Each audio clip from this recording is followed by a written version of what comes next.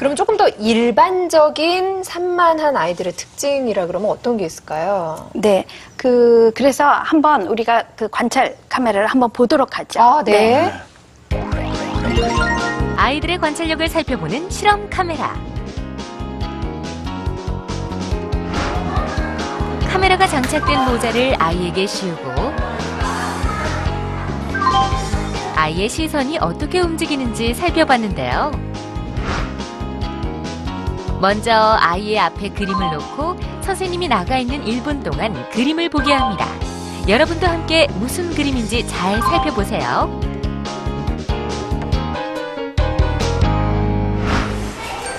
지시에 따라 꼼짝 않고 그림만 보는 아이. 카메라를 보니 역시 그림에만 집중하는 모습입니다. 지원이 아까 그림 본 거 선생님한테 설명해 줄 수 있어요? 네. 어, 어떤 그림 봤는지? 네. 응, 설명해 주세요. 음, 금돌이가 음. 어, 다람쥐한테 인사하고 개구리는 어, 물속에서 얼굴만 내밀고 있는 있는. 그림이었다. 어, 네, 우리 호진이 그림 보고 있을 때 선생님이 잠깐 나갔다 올게요.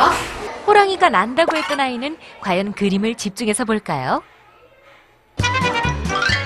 흔들흔들 시작부터 가만히 있지 못하고 주위를 살피기 시작하는데요.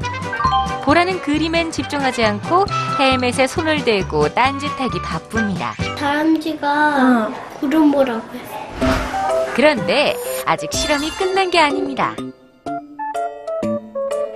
아이들의 관찰력을 살펴보기 위해 방안 곳곳에 낯선 물건들을 놔두었는데요. 그림을 열심히 보던 아이의 경우 어, 방에서 혹시 봤던 것 중에 기억나는 거 있어요? 아, 없는데요. 없어요? 그림에 대한 설명은 정확했지만 방에서 본 것은 전혀 없었습니다. 반면 이리저리 주위를 살피던 아이는 여기가 어, 햇님도 있었어. 토메이도 봤어요. 토메이도 보고. 그, 아까 그집 방에서 봤어요. 집도 봤어요? 아까와는 달리 방 안에서 본 것들을 척척 말합니다. 그렇다면 산만한 시우는 어떤지 살펴볼까요? 그 사이를 못 참고 이리저리 주변을 둘러보는 시우. 블럭도 있고 조개도 조개 쌓기도 있고 그래고 이 나무 자른 것도 있고 그랬었어. 방 안에 있던 물건들을 잘 기억해냈습니다.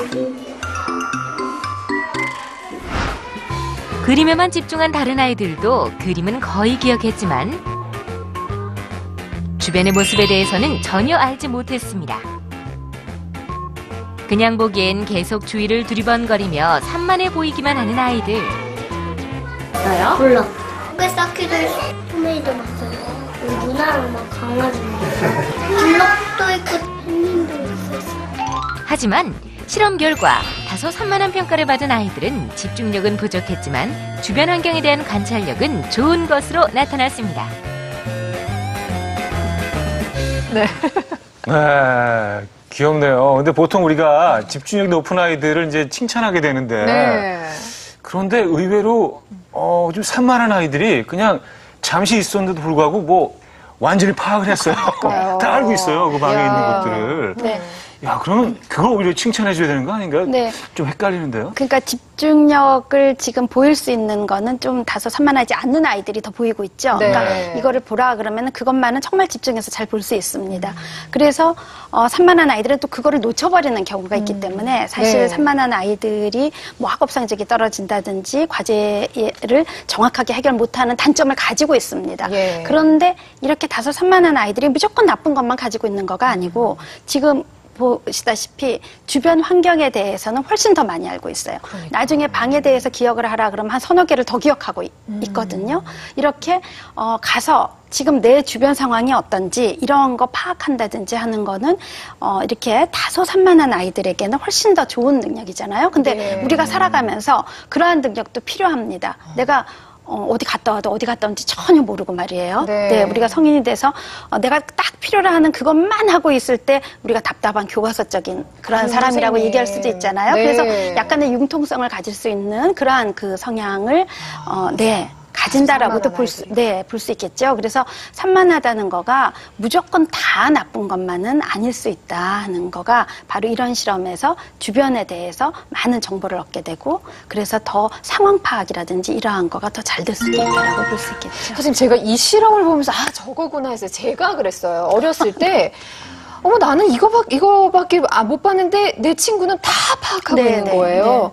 어머 얘는 정말 대단한 능력의 소유자다라고 생각을 했었는데 네. 이 아이의 관찰력이 뛰어난 것은 산만하면서 비롯됐다고 네, 볼 수가 네, 있는 거군요. 네. 그러니까 지나치게 산만한 경우는 네. 사실은 막 둘러봐도 제대로 도- 정보가 입력이 안 되는 경우입니다. 예. 그래서 그 정도의 지나침이 아닌 정도의 예. 네, 산만성이 있을 때에는 도리어 주변 환경에 대해서 더 정보를 많이 가지게 되기 때문에 생각할 때도 그 많은 정보를 활용하기가 더 쉬워지죠.